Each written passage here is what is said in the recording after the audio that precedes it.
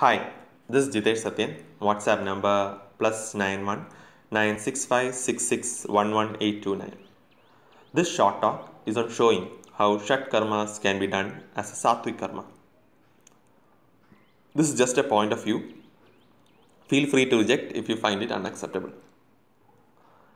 Marana, Shatru Samhara, Vashikaran are all considered nowadays as black magic.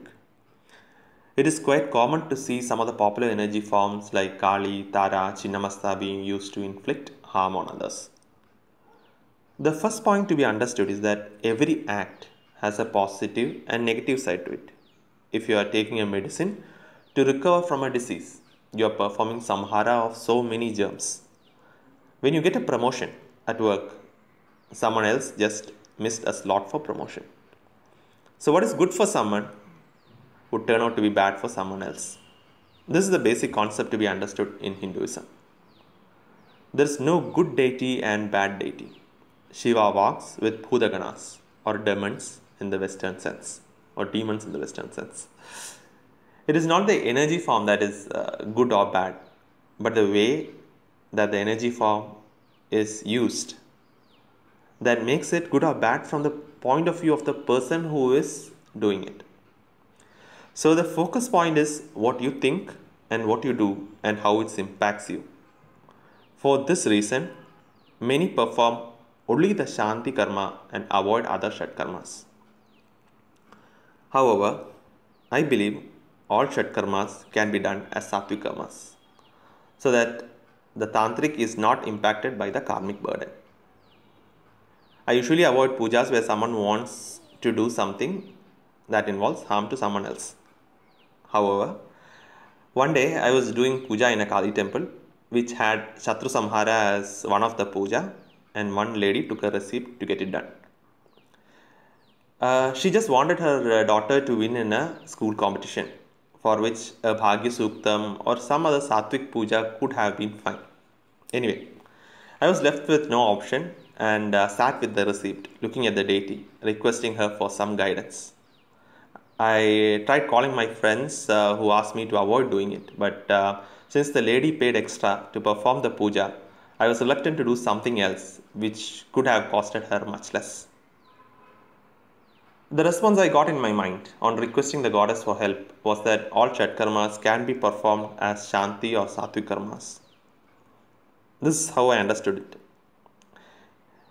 When Shatru Samhara is to be done, is what needs to be done.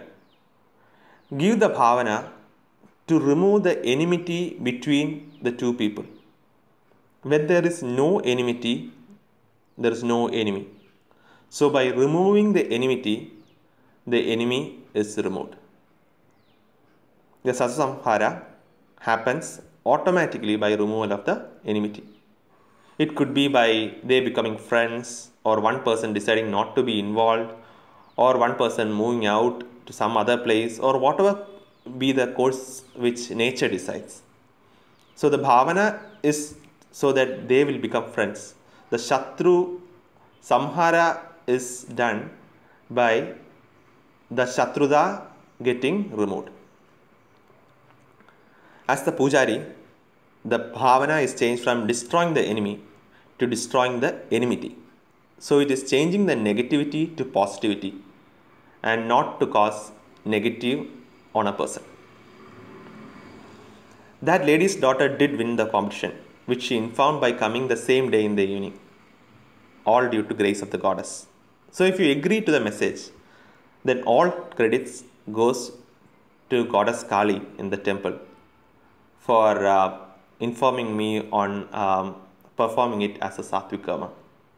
And if you feel that Shat karmas cannot be done as sattvic karmas by changing it to a sattvic bhavana and leaving the, leaving the results to the course of nature on how it needs to be executed, then uh, the fault for uh, uh, making up uh, such a such an unreasonable understanding is uh, fully on me.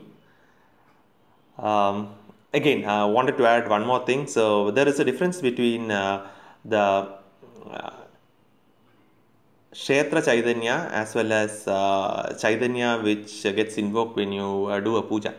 So um, uh, since I specifically called out uh, goddess Kali in that specific temple. So the reason being that uh, whenever you do, you do a puja to Durga, um, let's say 50 other people are also doing Durga puja and invoking the goddess. Then at the same time, all of the person who is trying to invoke the goddess gets the uh, power of goddess Durga invoked into their puja. However, that's the uh, the Chaitanya of the goddess, which can be um, which uh, can be invoked for puja purposes. This is uh, quite different from uh, Kshetra Chaitanya, which is uh, concentrated energy which is focused at a specific point in that temple. Um, this is uh, something to be remembered uh, whenever you are trying to uh, uh trying to uh, remove some uh, some doshas or when you are trying to do some remedies. So there is a difference between trying to do it in a temple versus trying to do the puja at at some other place. Thanks for listening.